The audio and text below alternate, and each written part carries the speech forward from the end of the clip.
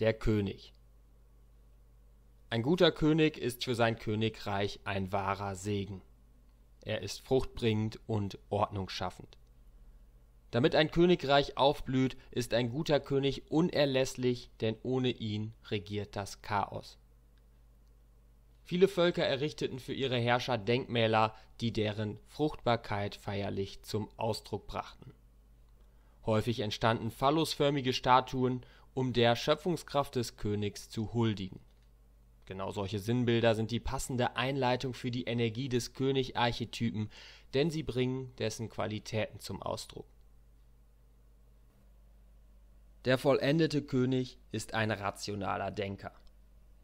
Eine hohe Integrität zeichnet ihn ebenso aus wie seine Beschaffenheit.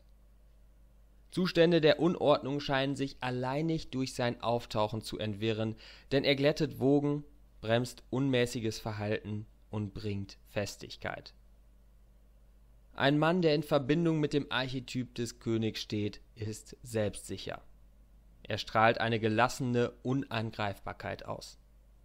Häufig erkennt er das Schöpferische in seinen Mitmenschen und segnet sie, indem er sie ermutigt, lobt oder anderweitig belohnt.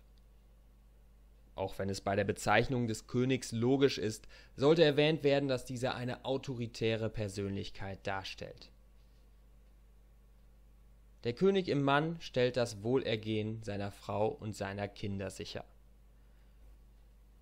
Wie erwähnt, hat er ein Auge für das Schöpferische und erkennt so die Stärken seiner Mitmenschen. So fördert er die Talente seiner Kinder und ermutigt seine Frau, das zu tun, was sie so sehnlich begehrt, wozu ihr bislang jedoch der Mut gefehlt hat. Mit Kritik weiß der König auf angemessene Art und Weise umzugehen.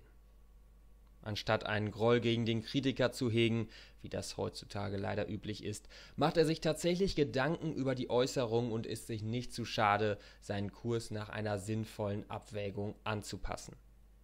Selbst zu Zeiten, in denen sich sein gesamtes Umfeld außerstande zeigt, einen kühlen Kopf zu bewahren, strahlt er eine natürliche Gelassenheit aus.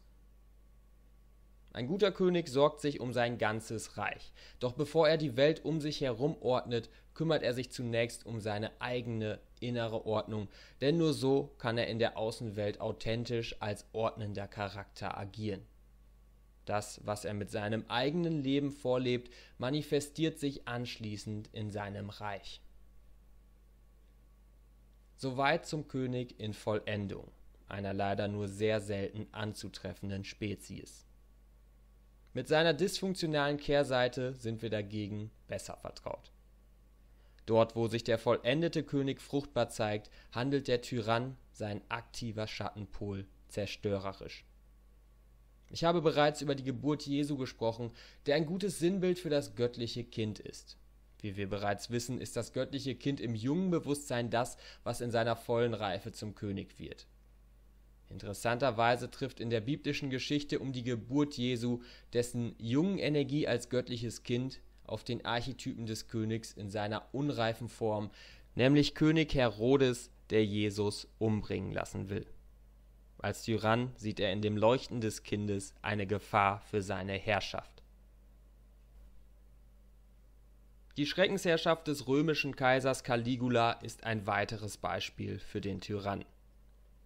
Von seiner eigenen inneren Schwäche, welche er zu verdrängen versucht, wird er angestachelt und richtet der Unschuld, der Stärke, der Schönheit und der Schöpferkraft anderer seine blanke Wut entgegen, denn diese Eigenschaften möchte er vernichten. Der Tyrann kann sich auch in dem Vorstandsvorsitzenden zeigen, der ohne Rücksicht auf Verluste nur auf die eigenen Vorteile aus ist. Es kann der unfähige Chef sein, der seine Arbeit von Untergebenen erledigen lässt, um am Ende alleinig die Lorbeeren dafür zu kassieren. Die Labilität des Tyrannen, beziehungsweise wenn man so will, der Schwächling innerhalb des Tyrannen, denn schließlich ist die Schattenseite eines Archetypen immer bipolar, zeigt sich in Situationen, in denen er Kritik ausgesetzt ist. Es muss sich nicht einmal um eindeutige oder besonders starke Kritik handeln. In der Regel spürt er bei der kleinsten Bemerkung seine eigene Schwäche und Inkompetenz.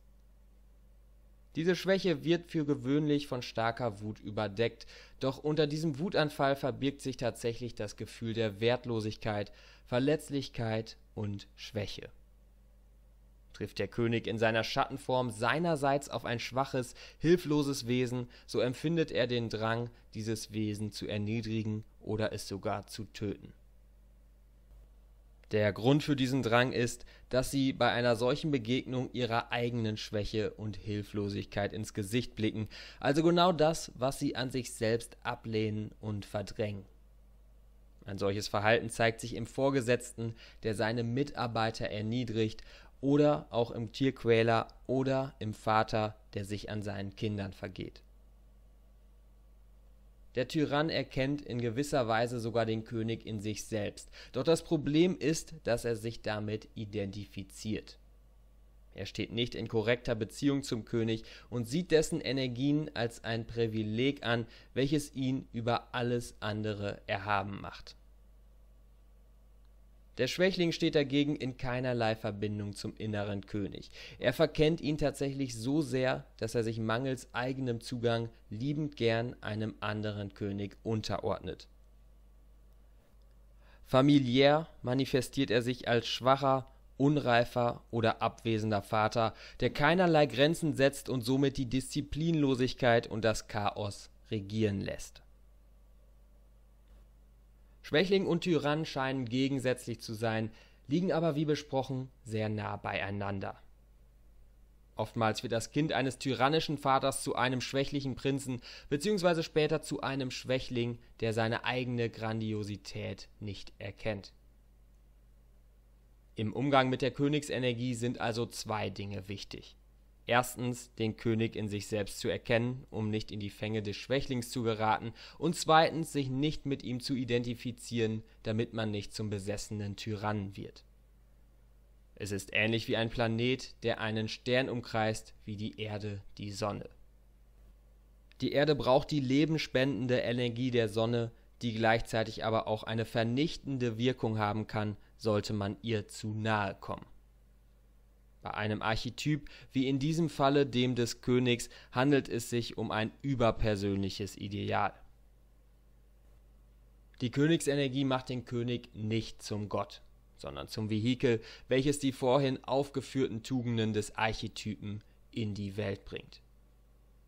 Ein guter König muss wissen, wie er richtig handelt, und anschließend muss er das theoretische Handeln in die Tat umsetzen Dabei ist ihm der Krieger behilflich, auf den wir als nächstes zu sprechen kommen werden